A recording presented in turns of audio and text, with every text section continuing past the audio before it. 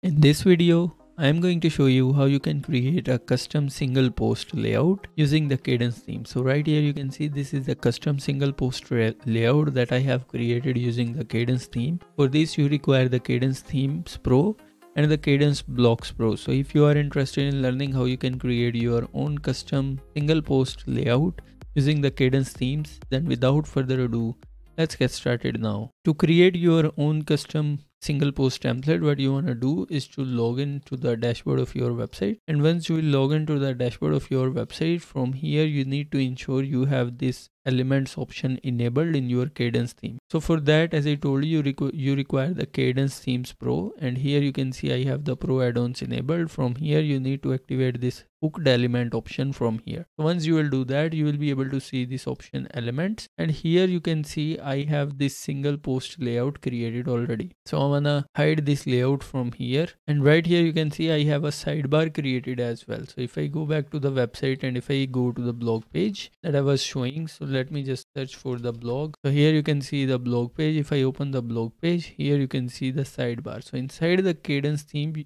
you need to create the sidebar separately. And then you need to create the component part separately and the header part separately and you also have the freedom to create the author boxes and everything else. So what i am already what i already showed you is that how you can create a sidebar. If you haven't watched that video i'll drop the link of that video in the description of this video. Go ahead and watch that video first so that you can understand how you can create this sidebar. Because here if i go there and if i hide this sidebar from there and if i go back and if i refresh you can see this sidebar is replaced with the theme default sidebar. I already showed you you how you can create your own sidebar using the Kadence. Now let's see how you will create this component for your single post layout. So i will publish this and now if i go back and if i refresh this you can see here we have this header showing up. So here in order to create this kind of component what you actually want to do is to click on this add new button and once you will click on the add new button the Kadence block will get activated. From here you want to choose this template option and from here you can re rename this. So i'll name this as blog single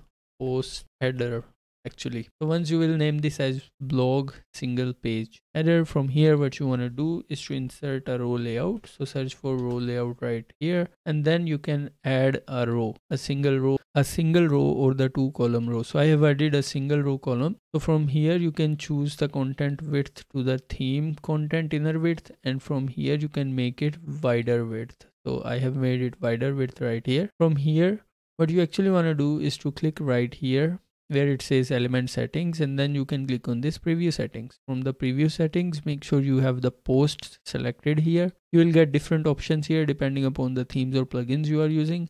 And then from here click on select preview post. So click on the select preview post and then you can choose one of the posts. So i'll select one post from here and then i'll click select and then you can click on the close button. Now we can actually start creating this. So i'll open this navigator from here then i'll click here and then I want to open this block settings. So I'll click on this settings right here. And then from here, what I actually want to do is to go to the style tab. And then what I can do is to go to the advanced tab. And in here, first of all, I want to increase the padding from the top and the bottom to the maximum that it supports. You can also add your own values for the padding.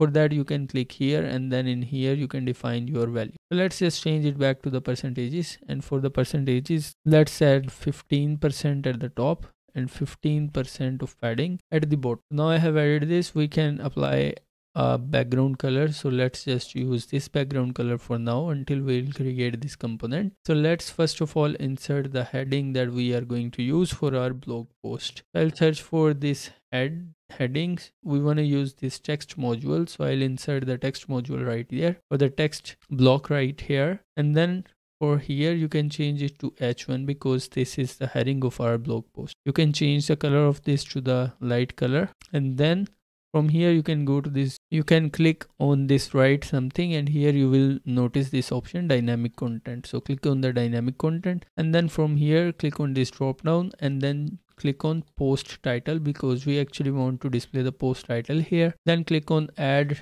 dynamic content and here you can see our title has been updated now you can align it anyways you want so i want to align it in the center so now that we have added the title we actually want to insert a couple of more fields here so i'll search for a section and I'll drop that section right below this title that we have added. Now I actually want to duplicate it once more. So I'll insert one more section inside of this section. So I'll drag and drop that section right here. Now if I go to the navigator I can duplicate this one more time. Now let's just add an icon box or the icon here. So I'll insert the icon right here first of all. And then after that icon what I actually want to insert a heading. So I'll click anywhere on the page and then I'll click on this plus icon and then I can search for text block. So I'll select the text block and I'll insert the text block right after this icon that we have you can see it is not allowing us to add. Let's click anywhere here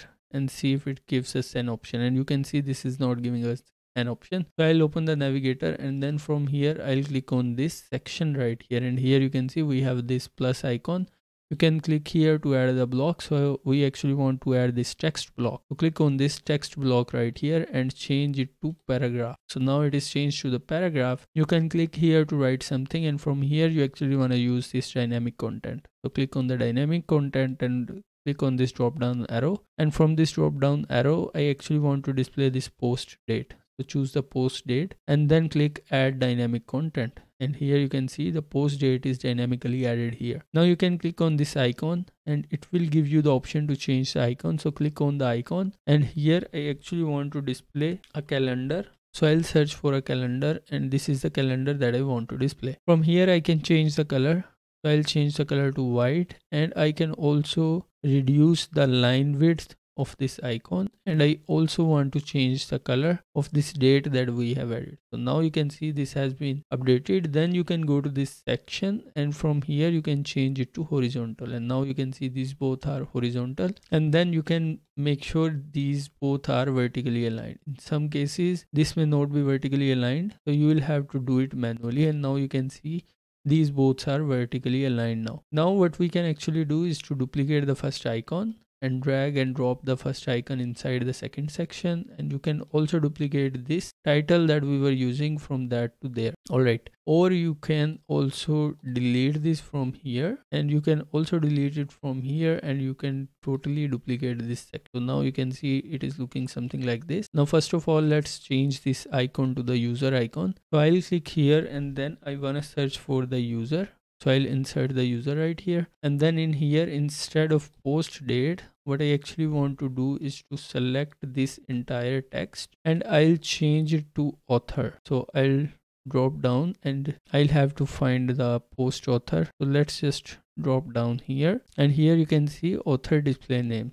So click on author display name and click on update dynamic content. And here you can see this has been updated. Now you can see we have a problem. These both are showing up on top of each other. So what I want to do is to choose this parent container and from here you can choose this horizontal. And now you can see both of these have the horizontal direction also what i actually want to do is to reduce the width. So here is the option for the content max width. Click here and change it to 500 pixel or the 600 i think the 500 pixels looks fine. You can also reduce the size of these icons from here. So i'll change it to 30 pixels. And i also want to change the icon size of this user to 30 pixels something like now. Let's just apply the background color to this entire row. So go to the style tab here and then from here what you actually want to do is first of all remove this background color that we had. Then click on this dynamic tag then click on enable dynamic background. So from here you want to choose featured image url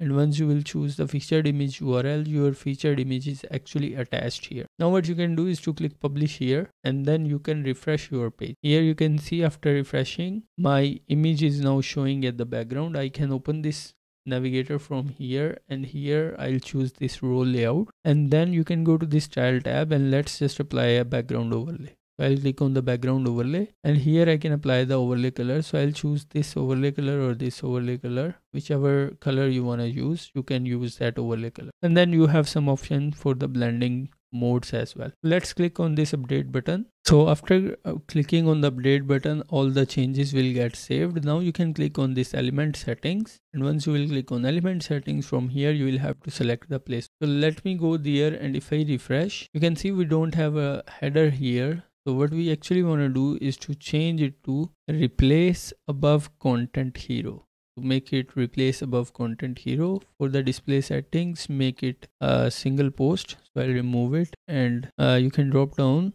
And here you will see this option single post. And then in the user settings make it to all users and then click on this update button. Now if i go back to the website and if i refresh you can see now we have this hero image showing up something like this. You can be as much creative as you want with this image and you can try different kind of layouts for all of these single. All right. Now there are some additional settings that you want to do. I already gave you a video on how you can create the sidebar. So you can follow that video to create this kind of custom sidebar. Then for this content right here you can go to this customize option. And once you will click on the customize option you will have to wait until the customizer will get loaded. Now you might face another pro problem where you will have double hero images for these blog items. For that you want to go here for the post or page settings and then you want to go to the single post layout. Now from here you want to go down and in your case this option will be enabled. So here you can see if i enable this option i have this hero image showing up again. I can disable this option and after disabling this option you can see now we don't have any hero image right here. Now you might also have the post title showing up and if the post title will show up your post title will appear something like this. And if i enable this option it should appear